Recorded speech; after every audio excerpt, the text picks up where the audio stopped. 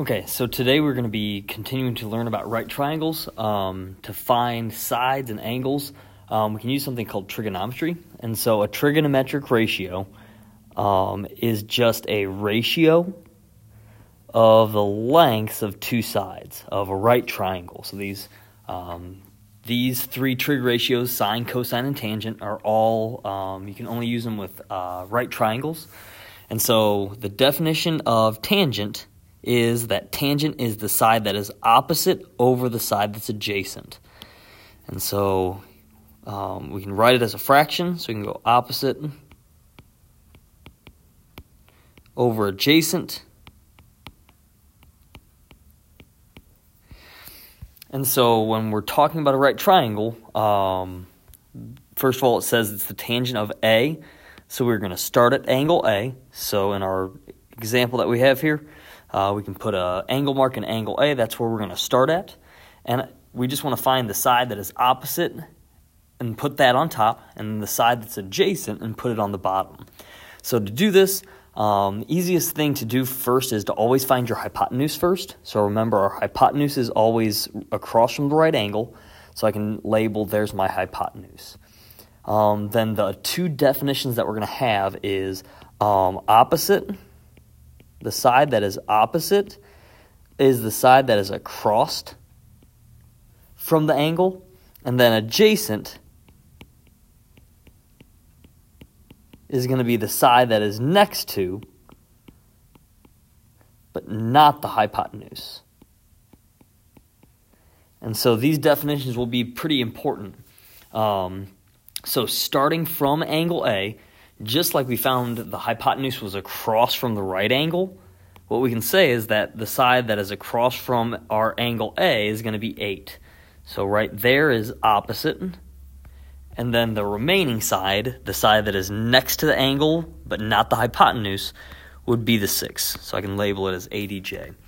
So over here, um, again, if I'm just saying opposite over adjacent, that would be 8 over 6, which reduces down to 4 thirds. So the tangent of this specific right triangle, the ratio of the opposite side over the adjacent side, is 8 over 6, or reduce it down to 4 over 3. That's opposite over adjacent. Uh, the second one is sine, um, which is opposite over hypotenuse. And so again, same thing. I can put opposite on the top, and then I can put my hypotenuse on the bottom. And so in my triangle, again, I'm still starting from angle A. The side that is opposite is the 8. And then the hypotenuse in this case is 10. And so I can reduce that down to 4 over 5. Um, and the last one is cosine. Cosine is the side that is adjacent over the hypotenuse. And so again, I can write it as adjacent over hypotenuse. And so again, using, so I'm still starting from angle A. So from A, the adjacent side is 6, and the hypotenuse is 10, which reduces down to 3 fifths. Um, so again, that's just the fraction, the ratio of uh, sine, cosine, and tangent for this triangle. Um, I can do the same thing with the next ones, but instead of starting at angle A, I'm starting at angle B. And so if I'm starting at angle B, I would again put my angle mark in angle B. 10 is still my hypotenuse, so I can still label that as my hypotenuse. The side that is across from angle B, again, across from is opposite, and next to is adjacent. Um, sometimes it's easier to find adjacent first. I always like thinking of across from because that's the same way we get our hypotenuse. Um, but if you wanted to find the adjacent first, sometimes it's just easier to see uh, when you look at your angle mark.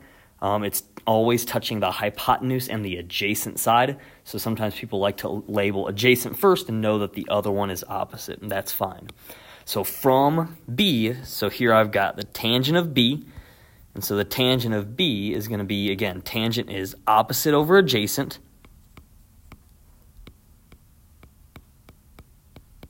And so the opposite side from B is 6. The adjacent side is 8. 6 over 8, which reduces down to 3 fourths. Uh, sine is opposite over hypotenuse. So the opposite side is 6. The hypotenuse is 10, which reduces down to 3 fifths. And the cosine is adjacent over hypotenuse. So the side adjacent to angle B is 8, and the hypotenuse is 10, so it reduces down to 4 fifths. Um, the last one here then is tangent of C, sine of C, and cosine of C. Uh, angle C is the right angle that we have here. And so what you need to know is you can't use trig ratios with 90 degrees angles. So these all we can't do. Okay? And so what these trig ratios help us do is on our cal- using our calculators we can solve for sides. And so the first thing that you want to make sure that you do is you have to have your you have to have your uh, calculator in degree mode. And so what we can do is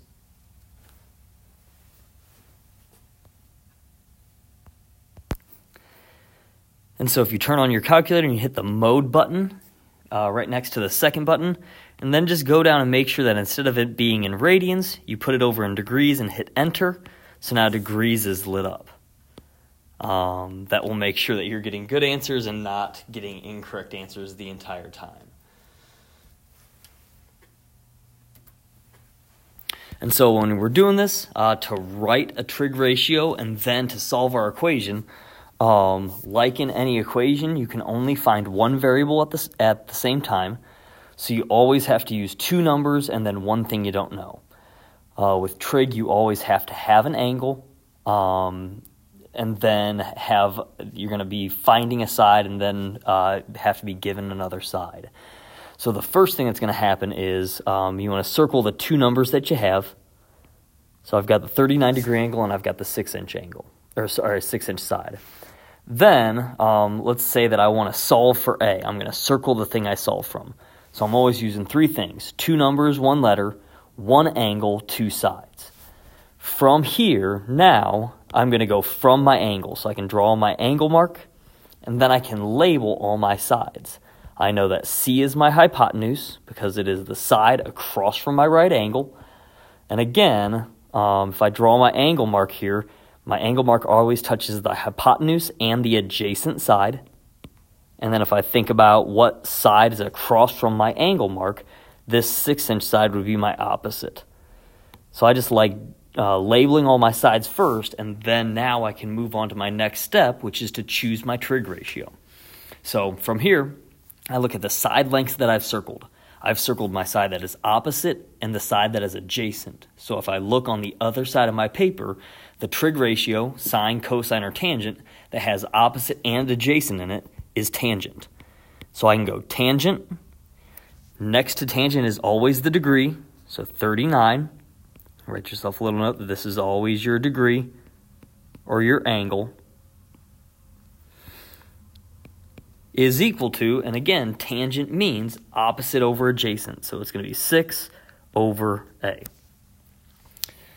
The tangent of 39 is a number, so again, that's just going to be just like a regular number that I can do uh, calculations with. And so to solve my equation here, to get rid of my fraction on this left-hand side over here, or the right-hand side over here, what I can do is I can multiply both sides by whatever's on the bottom. So I'm going to multiply both sides by a. On the right-hand side, my a's cancel out. I have a times the tangent of 39 is equal to 6. And then to solve to get a by itself again, tangent of 39 is just a regular number. I can divide by the tangent of 39. And so I get a is equal to, and in my calculator I can type 6 divided by the tangent of 39, and that gives me 7.4. There we go. If I were to use the same picture to instead of finding A, I want to find C now,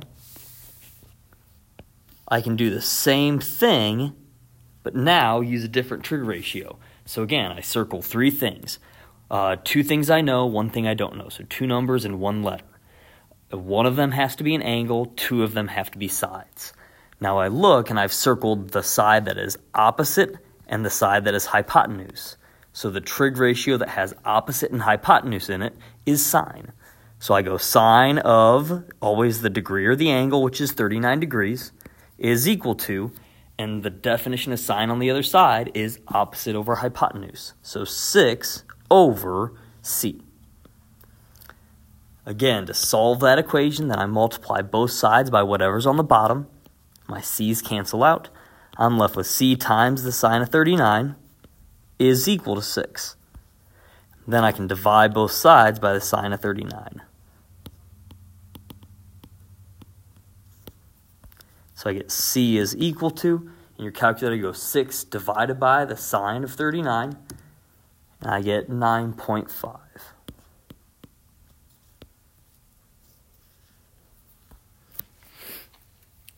Going over to the next example, um, again, same type of thing.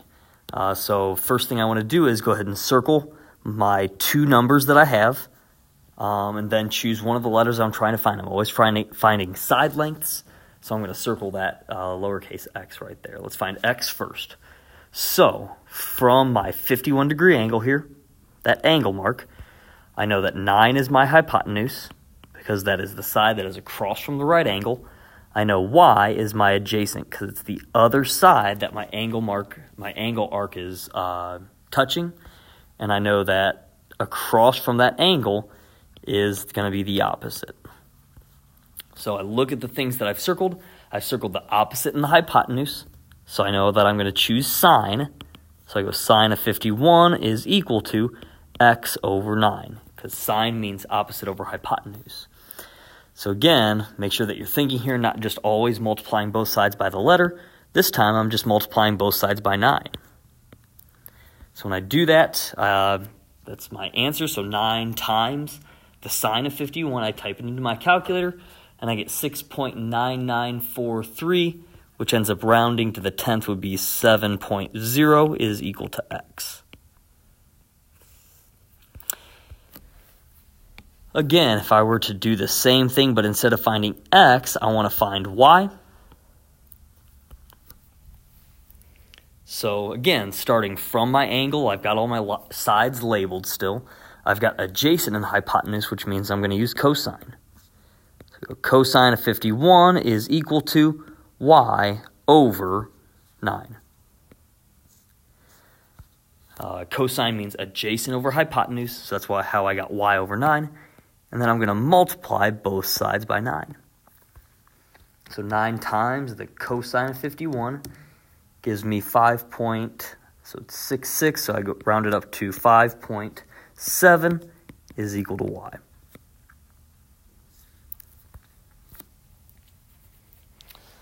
The last two examples on the very bottom then um, is just, uh, so we can find angles instead of having to find sides.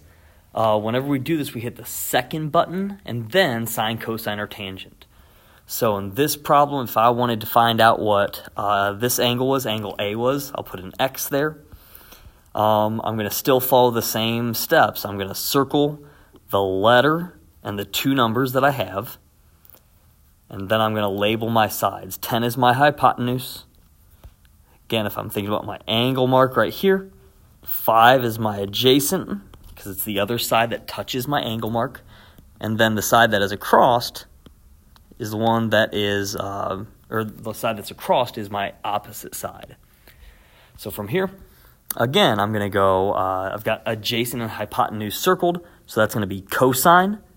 Remember that your um, angle always goes with the sine, cosine, or tangent, so it's cosine of x is equal to and then a j, uh, cosine means adjacent over hypotenuse, which is 5 over 10. And so what you'll do here is on your calculator, you'll hit second cosine. And what will happen is you'll get on your ca- calculator, it'll say cosine negative 1, parentheses, and then in the parentheses, you'll type 5 divided by 10. and what everyone's calculator should say is 60 degrees. Um, and so again, you've got a 90 degree angle. Right here is going to be a 60 degree angle. And so knowing that they have to add up to 180, you know that this would have to be 30 degrees. Okay? So again, second cosine will get us that cosine to the negative first. That inverse cosine is what it's called. And that'll help you find the angle. And then the last uh, example that we have here, again, same thing. Um, if I put an X here for angle E, and I circle the two numbers and the letter I'm trying to find, I can draw my angle mark right here. This is my adjacent side. This is my hypotenuse. And then there's my side that is opposite. And so again, I've circled the sides that are 6 and 4. That's adjacent and hypotenuse. Remember, that's how I'm finding my trig ratio. And so uh, it's going to be tangent. So I go tangent of x is equal to 6 over 4. So I go second tangent, which is that inverse tangent. And in the parentheses, I go 6 divided by 4. And when I do that, I end up with 56.3. Um, if instead of finding angle E, I wanted to find angle F, so I put a Y there. Um, again, I'm still using the 4 and the 6 from angle F now. The 6 is going to be my adjacent, and the 4 is going to be my opposite. And so when I do this, uh, again, it's still going to be tangent because I have opposite and adjacent sides. So tangent of y is equal to, this is now going to be 4 over 6. So I go inverse tangent of 4 divided by 6. There we go, and I get 33.7 degrees. Just like that.